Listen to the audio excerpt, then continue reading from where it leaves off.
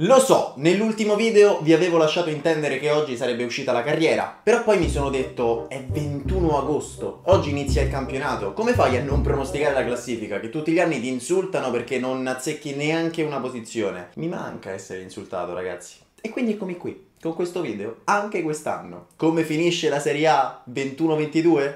Ve lo dico lo dico io, sì. Vabbè, uno ci prova.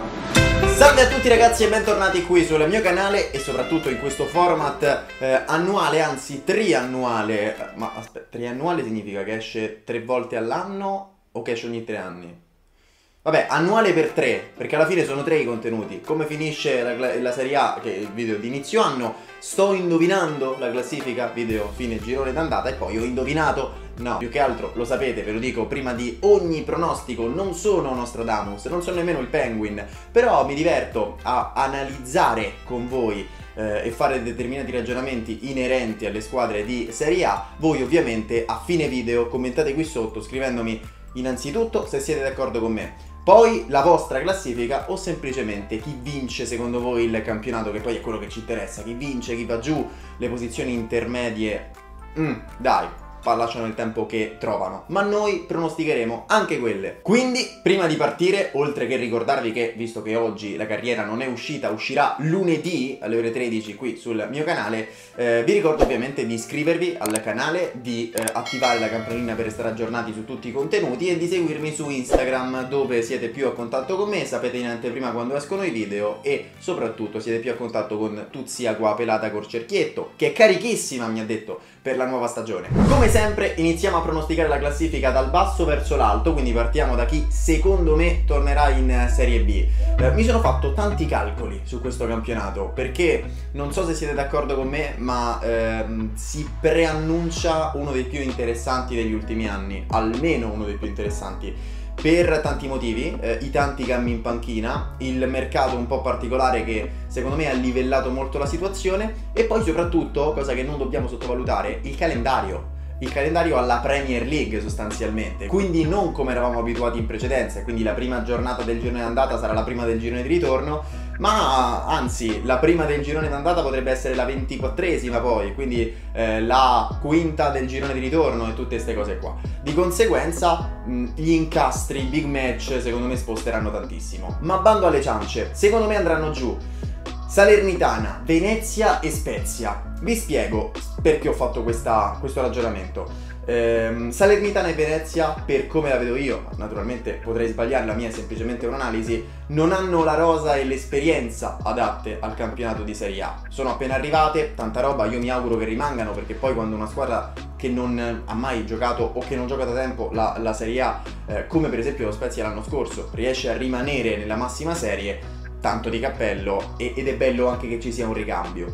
Secondo me non c'è stato eh, questo rinforzo eh, estivo mh, mm, per quanto riguarda queste due squadre, mentre per quanto riguarda lo Spezia ha perso italiano e non ha perso poco, perché ecco l'anno scorso io eh, non avendo seguito troppo, devo ammetterlo, eh, i precedenti anni dello Spezia con italiano, non mi aspettavo che potesse avere un impatto così devastante sul campionato di Serie A, cosa che invece ha avuto perché eh, al di là poi della salvezza praticamente tranquillissima, poteva arrivare qualcosina anche di più della salvezza tranquilla a, a inizio stagione per come era partito lo Spezia eh, e poi i, ta- i tanti big match vinti, la consapevolezza, il bel gioco, insomma una squadra che ha permesso a Italiano di eh, sedere poi sulla panchina della Fiorentina e infatti ne parleremo della Fiorentina perché a me piace molto Solo che arriva Diego Motta in casa Spezia e a me lui non ha mai convinto, o meglio, quando ha allenato il Genoa. Poi potrà stupirci, ma la, come griglia di partenza, e oggi possiamo parlare, poi dopo ogni settimana i calcoli cambieranno, vi dico questo. Chi secondo me invece si salverà è l'Empoli di Andrea Zoli che torna a sedere sulla macchina dei toscani dopo la sfortunatissima retrocessione del 2019, ricorderete quella sconfitta a San Siro contro l'Inter di Spalletti, pur dominando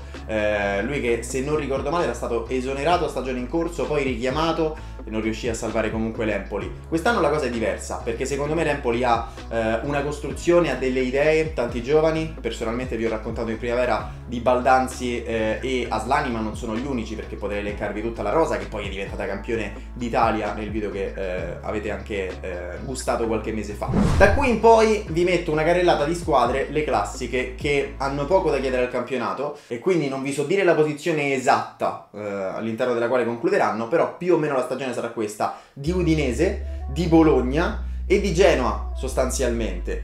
Poi metto il Sassuolo che ha perso De Zerbi e sicuramente è un downgrade importante perché non ha perso soltanto De Zerbi ma ha perso anche Locatelli in mezzo al campo e, e sono perdite fondamentali perché da una parte c'era il direttore d'orchestra eh, dall'altra lo scheletro della, della squadra, quindi eh, un downgrade me lo aspetto. Diciamo che eh, comunque sia potrà esserci una stagione positiva del Sassuolo, non mi aspetto eh, un qualcosa di catastrofico e dunque la retrocessione, ma non mi aspetto nemmeno eh, una Europa League barra Conference League sfiorata come l'anno scorso. Discorso simile per il Verona, che secondo me chiuderà tra l'undicesimo e il dodicesimo posto, perché ha perso Juric. Juric dove è andato? Al Torino. E infatti il Toro, che l'anno scorso ha, secondo me, anche meritato, avrebbe meritato eh, una retrocessione che non è arrivata. Non me ne vogliano i tifosi del Torino, eh. analizzo quel che vedo in campo, ma eh, la mancanza di idee, di programmazione ha fatto la differenza. Con Juric e una rosa che non è proprio da Serie B, secondo me il Torino potrà essere una squadra veramente ostica. Non da Europa, ma ostica.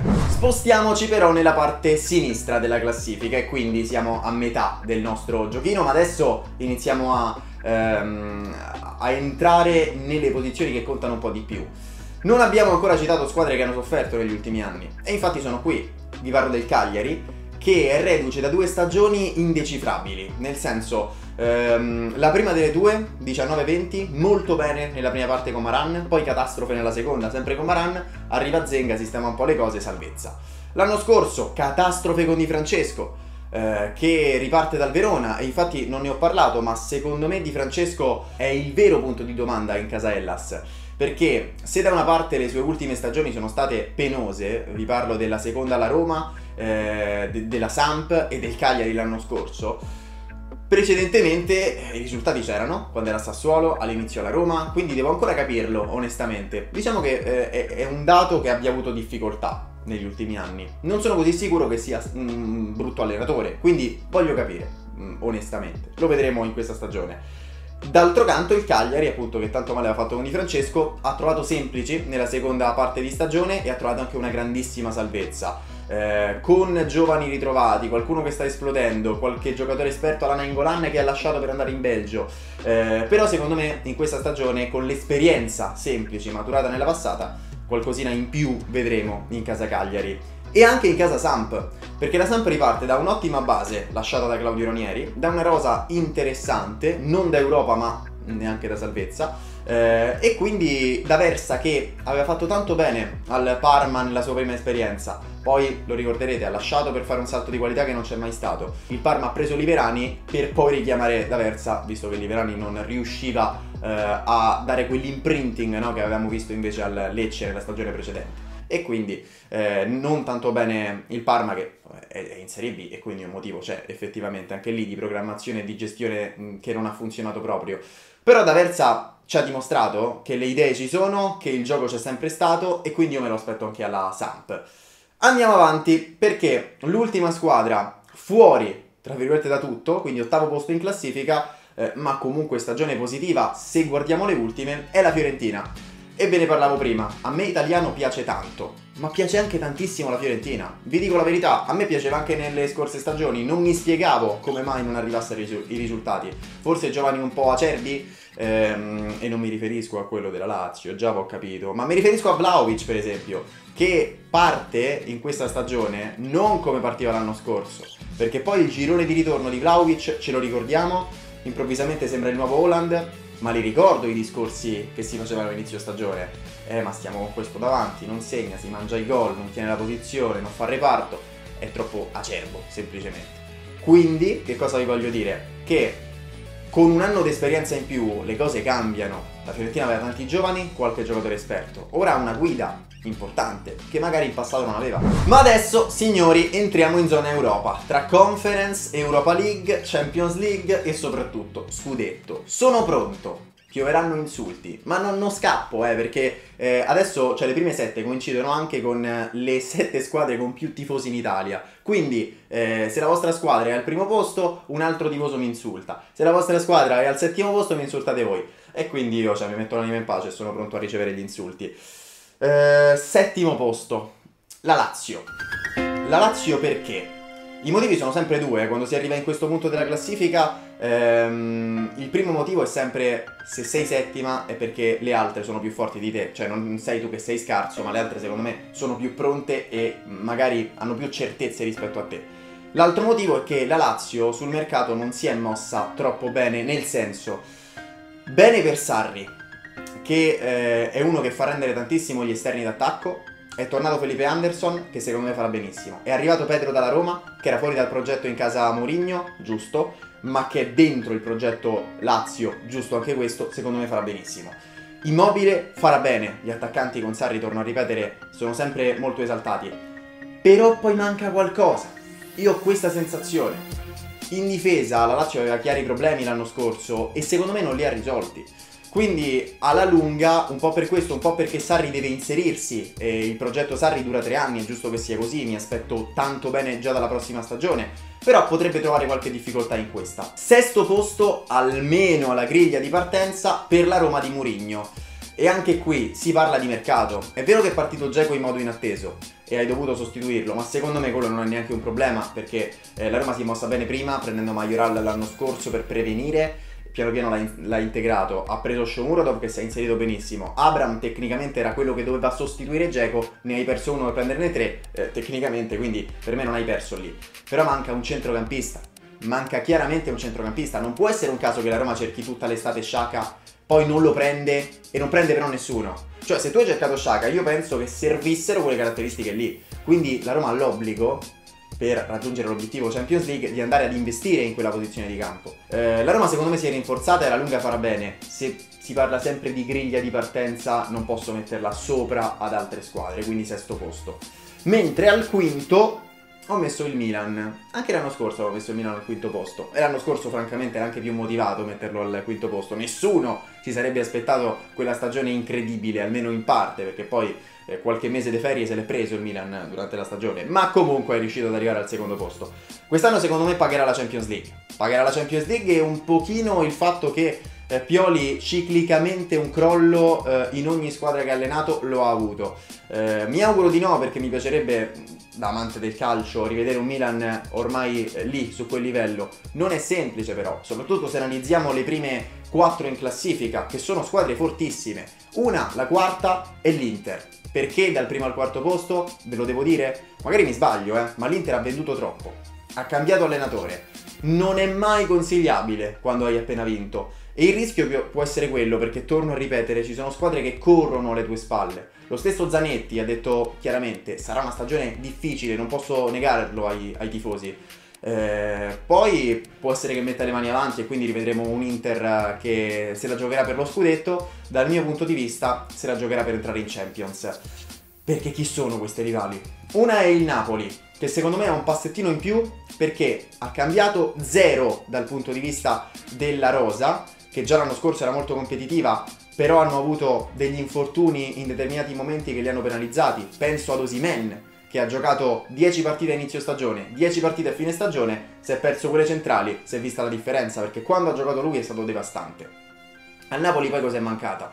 Una guida da un punto di vista tecnico. Io eh, ho sempre stimato Gattuso, però qualcosa gli è mancato ed è evidente non ha l'esperienza che ha Spalletti. Spalletti fa rendere, o meglio, secondo me farà rendere questo Napoli molto meglio di quanto abbia fatto Gattuso. E quindi per me, se non cambi le cose e prendi un mister più adatto, puoi farlo questo upgrade. E poi non fatevi influenzare dalle voci, restando sul Napoli. Eh, ma Insigne forse non rinnova, eh, ma Koulibaly lo cediamo, eh, abbiamo preso Juan Jesus. I fatti quali sono? Che Insigne è lì, che Koulibaly è lì, chi hanno venduto? Vado a memoria? Nessuno mi pare. Quindi cauti, cauti sempre con le voci estive. Secondo posto, qui è bella. Qui è bella perché adesso, vabbè, secondo posto, secondo e primo posto. Ehm, secco, Atalanta e Juventus. Questo è il mio, è il mio podio. Napoli, Atalanta e Juventus. Eh, L'Atalanta è la certezza in realtà, da un punto di vista di zero cambi, perché è l'unica delle prime 5 o 6, anzi, anzi 7 probabilmente, eh, che, che non ha cambiato. Vabbè, a parte il Milan, non ha cambiato allenatore. Eh, ha perso Romero, se non, se non, sbaglio, in difesa. Si è fatto male Zapata, qualche problemino può esserci.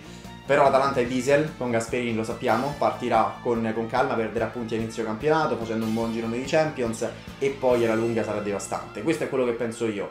Potremmo anche fare il discorso che abbiamo fatto negli ultimi sette anni. Ma ti pare che ripetono la stessa stagione? Sì, hanno sempre migliorato quello che hanno fatto nella stagione precedente. E quindi io quest'anno ho motivo di dirvi che secondo me sono da secondo posto se non da scudetto. Si fossero rinforzati un po' di più avrei detto da scudetto. Potrei dirlo lo stesso, nel senso che possono giocarsela, ma come se la possono giocare anche le, le altre squadre che ho leccato finora, il Napoli, l'Inter, la, la, stessa Roma, perché magari fa quello che ha fatto il Milan l'anno scorso, vai a capire, eh, la Lazio, perché no, insomma bisogna, bisogna vederlo. Però la Juve ha Allegri, la, la Juve non era scarsa l'anno scorso, aveva semplicemente dei giovani, dei giovani che, eh, a partire poi dalla guida, che era Pirlo, inesperta, e ci poteva stare.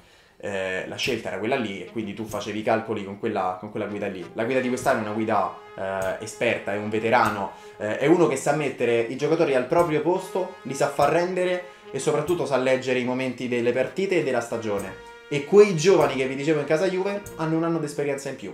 Oltre chiaramente ad un mercato che ha portato dentro Locatelli per fare un nome che non è sicuramente un giocatore scarso. Però vedremo, eh, questa è la mia classifica, anzi ve la faccio vedere qui ma allontano un po' io, anzi ve la lascio di qua, queste le mie posizioni chiave, quindi chi va giù, chi va in Europa e chi vince lo scudetto. Ovviamente potete essere in accordo o in disaccordo con me, è questo il bello di questi video, sempre educatamente, ora scherzi a parte, raccontatemi qui sotto quello che pensate voi, fate un vostro pronostico e come sempre noi ci aggiorniamo a fine girone d'andata e a fine stagione per capire se ci abbiamo preso, almeno nei calcoli. Un bacione, never give up e alla prossima! Ciao ragazzi, buon campionato a tutti!